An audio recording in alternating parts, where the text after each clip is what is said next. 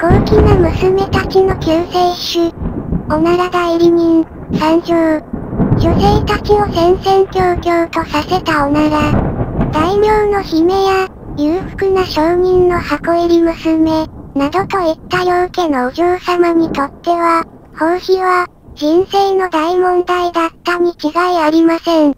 そこで活躍したのが、おなら代理人。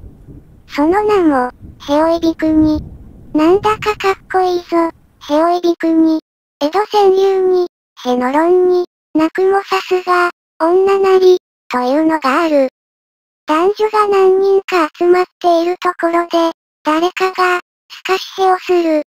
一体誰がやったのか、ということになり、中の女性が疑いをかけられ、泣き出す様を呼んだく。人前で奉仕をするのは良くない。特に女性だとはしたないこととされてきた。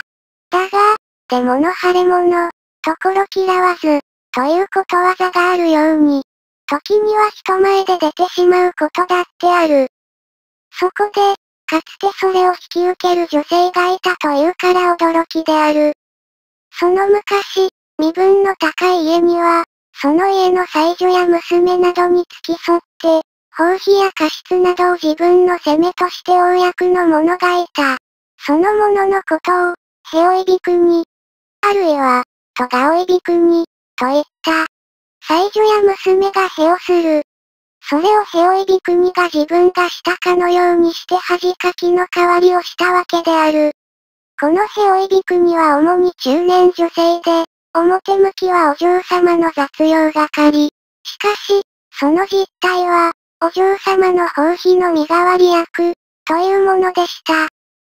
例えば、ある席で、お嬢様がうっかりおならをしてしまったとする。